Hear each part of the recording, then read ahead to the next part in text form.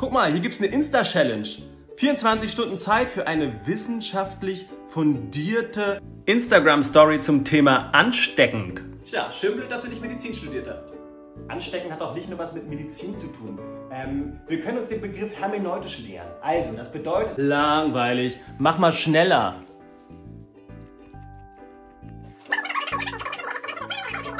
Also eine dialektische Bewegung zur Begriffsfindung, damit wir dann... Mit Foucault könnte man vielleicht den Ansteckungsprozess als eine Art Selbstschutzmaßnahme beschreiben, so um die Autonomie nicht zu verlieren. Du verstehst? Um mich kurz zu fassen, der Ansteckungsbegriff ist auf jeden Fall stark differenzierungsfähig. Ist das wieder so ein Kuvi-Philo-Kunstscheiß? Ja, genau so ein Scheiß ist das. Und das ist übrigens auch Wissenschaft. Lange Rede, kurzer Sinn. Der Ansteckungsbegriff kann auf jeden Fall positiv oder negativ ausgelegt werden. Irgendwo zwischen gesellschaftlicher Determination und Selbstbestimmung. Du weißt, einem wird ja ziemlich viel angesteckt. Ansteckend. Kausalität. Überstülpen. Uns wird Kultur übergestülpt, Moral, Werte, alles wird uns angesteckt. Du weißt, was ich meine?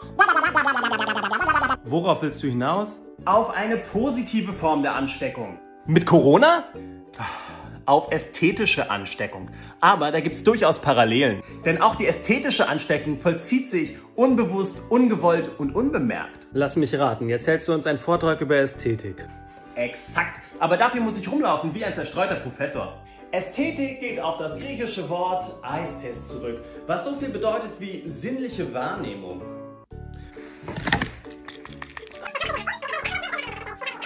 Lange Rede, kurzer Sinn. Schiller, Kant, Herder, Adorno, Heidegger. Naja, eigentlich haben sich alle mit Ästhetik beschäftigt. Jetzt fragst du dich sicher, was das Ganze mit Anstecken zu tun hat, oder?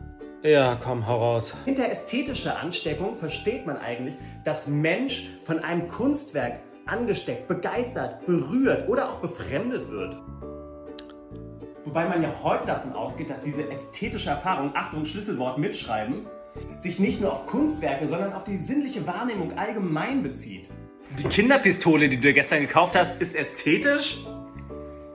Worauf ich hinaus will, Dinge können uns mit Staunen anstecken. Und Staunen ist ästhetische Hingabe. Nur wenn ich mir vorher drei Bierchen reingestellt habe. Staunen hat auch sogar einen Bildungswert. Und für Platon ist Staunen sogar der Anfang der Philosophie. Wobei bei Platon geht es ja nicht nur um Dinge, sondern um Ideenpartikel oder sowas. Ey, aufwachen! Oh. Lange Rede, kurzer Sinn. Emotionen, Krankheiten, Ideen, Kultur, Gesetze, Moral, Werte, alles ist ansteckend. Und deswegen würde ich für heute auch sagen, für heute, ich habe für mein ganzes Leben genug. Das Ansteckende ist ein zwischenmenschlicher Status quo. Es gehört immer in unser Leben. Elementar.